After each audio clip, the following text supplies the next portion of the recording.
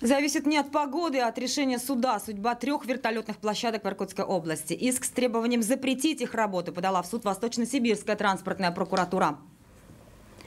В ходе плановых проверок сотрудники надзорного ведомства выявили целый ряд нарушений. Они касаются обустройства посадочных площадок и отсутствия необходимых ограждений. Все это создает опасность для людей, ведь некоторые вертолеты приземляются в непосредственной близости от жилых домов.